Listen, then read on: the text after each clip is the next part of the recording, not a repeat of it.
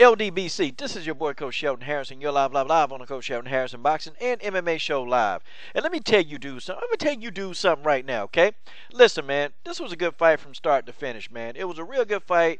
You know what, man? Jesse Vargas, he don't have anything to hold his head down about, and that's just the way that is.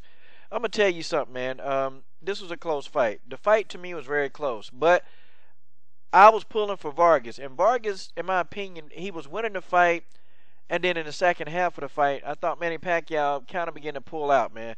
Um, I had Pacquiao winning the fight seven to five. Okay, now at first I had it a draw. At first I had this fight a draw. I had it a complete draw. But then I kind of changed that because I thought Pacquiao did do enough in the last round to win the fight. Because up to up to the last round, I actually had it a draw. And I said that whoever win the last round, they're gonna win the fight. And I thought Manny Pacquiao won. I thought it was seven to five. Now I don't think it was a blowout, but let me go ahead and break the fight down, okay? Uh, early on in the round, man, Pacquiao, you know, no, Jesse Vargas did a good job of establish, establishing his jab. But I felt like Jesse Vargas did not have any answer for that left hand. He didn't. Sometimes you would see Jesse Vargas follow back up with the right hand, and that right hand was giving Pacquiao a lot of problems. But I actually saw Pacquiao make an adjustment, man, and he started, you know, circling away from that right hand when Jesse Vargas tried to throw it. But Vargas still, at times in the fight, would catch Manny Pacquiao with that right hand. And Vargas, I thought he staggered Manny Pacquiao a couple of times with that right hand. But then, you know what? Pacquiao just exploded, man. He exploded. And then he caught Vargas with a left hand and dropped Vargas in the second round, man. He put Vargas on the canvas, and uh, Vargas was kind of, it was shocked, man. He didn't, Vargas never saw the punch coming, okay? He didn't see the punch coming. I thought Vargas to me was a little bit too tight. You know, he just he wouldn't settle down until like midway through the fight. He began to settle down and kind of you know get his shots off, and he started doing a couple of things, man. And I was like, okay, he's starting to settle down. But I think Pacquiao, you know, landed. I thought Pacquiao landed more punches, and of course, you know, when I look at the punch stat, you know, I was correct on that end. You know, Pacquiao did land more punches. Um, you know, I think that Pat Vargas he was going to get robbed regardless. Okay he was going to get robbed. But let me finish breaking down some of the punches. Uh, you know, miraculously, that right shoulder, boy, they did a good job in surgery because I'm telling you, uh, Manny Pacquiao, you know, also he did he did a pretty good job with his right hand. Um, some of the things that I saw Pacquiao doing though, that you know, I think another welterweight like you know like an Errol Spence or somebody would capitalize. He was throwing too many of these off balance punches, man like it's almost like he was swinging for the fences. Like he would throw, he would commit to a punch, and I and I like the fact that he would commit to his punches, but he would commit to them. Vargas would just sidestep him, and Pacquiao was just off balance. And I was thinking that Vargas was going to take that opportunity, man, to start catching Manny Pacquiao with some of those shots while he was off balance, man, but he didn't. But one thing I did like that Vargas started doing, you know, Pacquiao got this habit, man. And, you know, and they, they pointed it out, too. He was banging his gloves and pulling up his shorts. Well, Vargas started catching him when he started trying to pull his shorts up or you know grab his trunks. Vargas started hitting him, and that was disrupting Manny Pacquiao's flow too as well. Pacquiao points to the fight was frustrated because Jesse Vargas also began to start, you know, picking up on Manny Pacquiao's timing, and he started catching Manny Pacquiao coming in. Man, it was it was good. Vargas did a lot of good things in this fight, but I knew that they were going to rob Vargas. I knew that they would rob him. Oh, and one other thing that I thought that Vargas could have did better, you know, I thought Vargas could have had better head movement, man. I don't think Vargas moved his head enough to avoid that left hand. It's just, it was almost like, man, he was caught off guard every time he got hit with that left hand.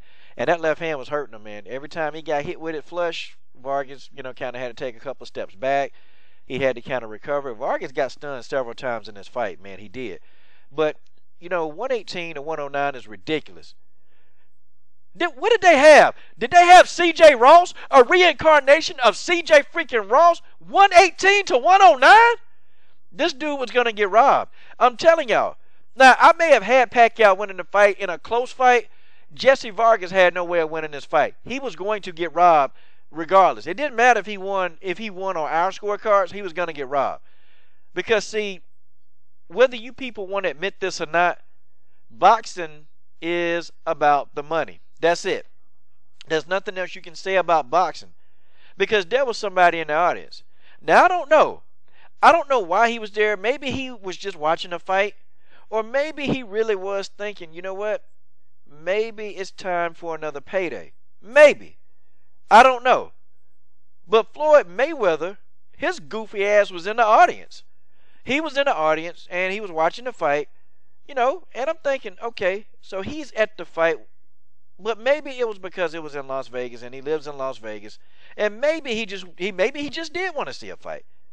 We don't know why he was there in the audience, and he was sitting right behind Stephen A. Stupid. He was sitting right behind Stephen A. Stupid. I tell you, I tell you what, man. I tell you what. Strange things happened tonight. But those scorecards, way off, man. Whoever did that, whoever, you know what, that judge need to be fired, man. It need to be fired. This was not a unit. This was a close fight, man. This fight, at at most, it should have been a split decision. Okay, this one was a split decision fight. I thought Vargas kept the fight close. I thought Vargas did a lot of stuff correct. I don't think Manny Pacquiao went in there and blew Jesse Vargas out. You know, you know, you leave it up to Brian Kenny and Stephen A. Smith. Oh, Pacquiao blew him out. But see, we know Stephen A. Smith don't know nothing about boxing. And that's okay. I got a separate video. Oh, I got a separate video about Mr. Stephen A. Stupid with that hairline. Every time I see him, that hairline is getting weaker and weaker and is almost to the back of his head. You know what, though, man? It was a good performance by Jesse Vargas, man. It was a good performance. I did, though, I have to admit, I think he lost by one round. I think he did. Um, you know, and, you know, a lot of people may disagree with that. I don't know. But Pacquiao did not blow this dude out, man. Pacquiao didn't blow him out. But congrats to Manny Pacquiao. You know, he won the fight. I was pulling for Vargas. I was really wanting Vargas to really get this because there was so many people criticizing Vargas, you know, really criticizing him, but he kept the fight close. So could a rematch be in order? Could, it, could you think Pacquiao would give Vargas a rematch? I, I mean, I don't know. But I think that, you know, Vargas would probably do better in a rematch, man, because Vargas is a good fighter. He's a good fighter. He, excuse me, he's a good fighter. But where does he go from here? Where does Vargas go from here? He didn't, man. His stock didn't drop at all. Stock didn't drop. Okay, you lost to Manny Pacquiao, even though you know he, you were gonna have a help. You were gonna have assistance from the judges. Oh, you were.